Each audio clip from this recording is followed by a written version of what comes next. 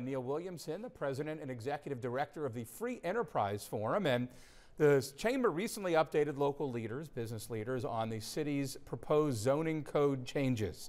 So let's take that into layman's terms and talk about um, it's a years long process. What does it mean, and how close are we to the finish line here? Well, tonight the City Council will be discussing the ideas um, and what the next steps are. Uh, I anticipate that City Council will hold a public hearing sometime in December. Um, what is the zoning code changes? It changes the rules of the game for how you develop new properties. Uh, an example of one thing they're considering is the uh, drive-throughs. If you have a drive-through, the zoning code proposed from the Planning Commission says you must have your dining room or a walk-up window open at the, for the same hours as the drive-through is open. Now, that's a real microcosm of a zoning ordinance. There's a lots of pictures and development code and the rest, but the idea is a change in how we think about how we operate businesses and development in the city and make them more pedestrian friendly and grow as a city. And obviously, those kind of changes potentially can have dramatic effects on businesses, maybe some more than others. Sure, and, and the, the drive-through is a good example. You have, if you have a drive-through open, you can probably operate the business with three if you don't have a dining room open.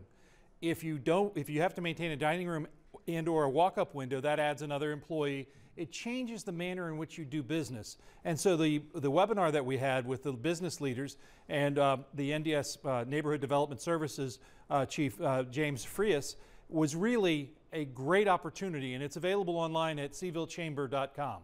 So what kind of feedback did you get from business leaders? What kind of concerns do they have with this? Um, they're in an information gathering mode. Anytime you make changes, it's hard.